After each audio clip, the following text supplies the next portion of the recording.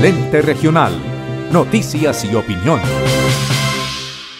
¿Qué tal amigos y seguidores del ente regional? La empresa de servicios varios de Florencia Cervat prepara para este 24 de marzo la Asamblea General de Accionistas con el fin de dar a conocer los resultados que se obtuvieron durante el año anterior y por supuesto los proyectos que se tienen para esta vigencia.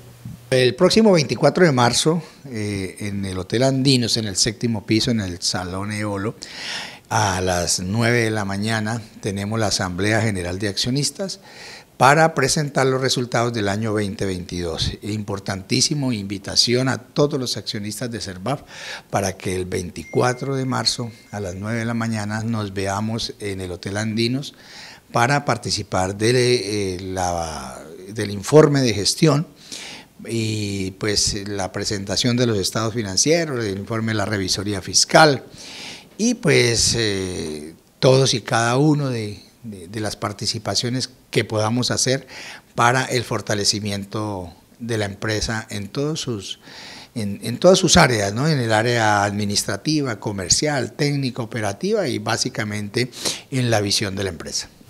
El gerente de la entidad precisó que son buenas las noticias que se tienen referente a los resultados que se lograron durante el 2022 y que se espera que sean aprobados varios proyectos para el 2023. Sí, efectivamente la empresa dio unas utilidades por encima de los 300 millones de pesos y eso lo vamos a presentar en asamblea. Tenemos eh, varias propuestas, vamos a hacer una reforma estatutaria, eh, pues que va direccionada también al fortalecimiento de la empresa y que para el futuro de la empresa pues va a ser de mucho provecho. Es importante que todos los accionistas estén presentes para que den su aporte también y podamos entre todos sacar adelante a Cervaf SAESP. Hace más de 30 años que la empresa Cervaf presta sus servicios a los florencianos. Con la Cámara de Verson Moya, Wendy Barrios, para la Interregional Noticias y Opinión.